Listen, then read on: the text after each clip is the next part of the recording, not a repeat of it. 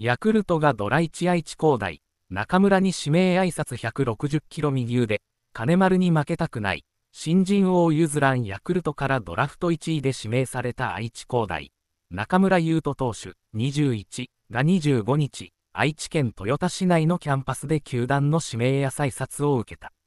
画像、一覧、ドラフト12球団支配下指名確定選手。最速160キロを誇る本格派右腕は、将来はスワローズの中心選手になれるような力を持っていると言葉をかけられると、入寮までに体を作って、自信を持って新人合同自主トレからアピールしたいと表情を引き締めた。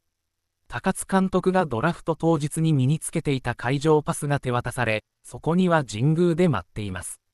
と直筆メッセージが添えられていた。即戦力としての期待は大きく、パワーピッチャーで制球力もある。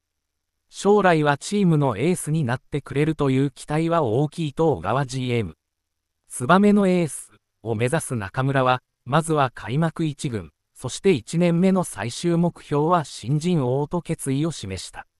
4球団競合の末に中日が交渉権を獲得した寛大、金丸夢人投手21は良き友人でもあるが、負けたくないという気持ちは強い。プロでは同じリーグなので、ライバルとして良い